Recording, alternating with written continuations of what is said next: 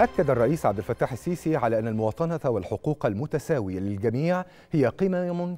ثابتة تمثل نهج الدولة المصرية تجاه جميع المواطنين وهو ما ترسخه الدولة من خلال ممارسات فعلية وواقعية في جميع مناحي الحياة في مصر وذلك لتعظيم تلك القيم الإنسانية من السلام والمحبة وعدم التمييز لأي سبب ونشر ثقافة التعددية وحرية الاعتقاد.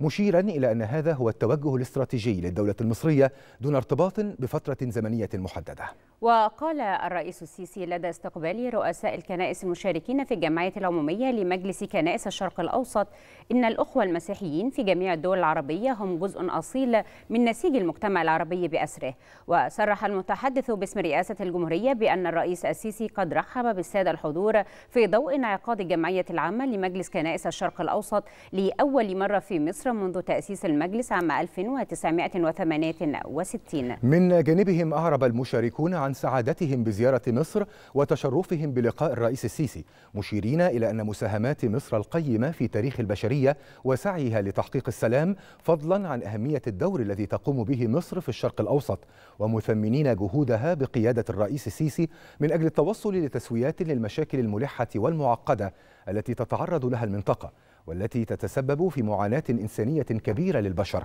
مع التأكيد على دعمهم لجهود مصر في مكافحة الإرهاب والفكر المتطرف فضلا عن تحقيق التنمية والبناء والتعمير في مصر والشرق الأوسط بالكامل.